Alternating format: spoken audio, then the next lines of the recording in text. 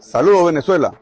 Nos encontramos aquí en el puente internacional Simón Bolívar, solo a pocos metros de Colombia, cumpliendo instrucciones del presidente Nicolás Maduro. Estoy acompañado del comandante de la red de los Andes, el mayor general Castillo Rengifo, el comandante de la SODI, Táchira, general Martínez Campos, la alcaldesa de San Antonio, el alcalde de Ureña y un equipo multidisciplinario, haciendo ajustes, conversando con la gente y valorando esta hermosa expectativa que será la apertura de frontera el próximo 26.